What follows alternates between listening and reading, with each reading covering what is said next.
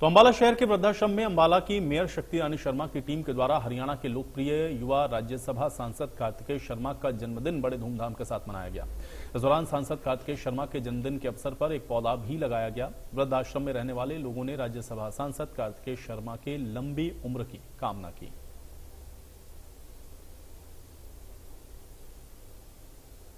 आज हमारे बड़े भाई जो राज्यसभा सांसद हैं श्री कार्तिकेय शर्मा शर्मा जी, उनके जन्मदिन के उपलक्ष्य में आज हमारी सारी टीम ओल्ड एज होम में उनका जन्मदिन मनाने के लिए आए हैं और बड़े बुज़ुर्गों का आशीर्वाद लेने आए हैं। जैसे कि हमारे कार्तिकेय शर्मा दिन रात उन्नति कर रहे हैं, हमारी दिल से कामना है, दिन रात चौगनी उन्नति करें और सभी बड़े बुज़ुर्गों और युवा साथियों का उनके साथ सदैव ही प्यार और आशीर्वाद बना रहे आज हमारे लिए एक बहुत ही फख्र और गौरव की बात है कि हमारे यहाँ जो अभी जन्म राज्यसभा सदस्य माननीय कार्तिकेय जी का जन्मदिन है आज, और उनके जन्मदिन की खुशी में हमारे, हम सभी जनों को वहाँ के आगे उनकी टीम ने केक काटा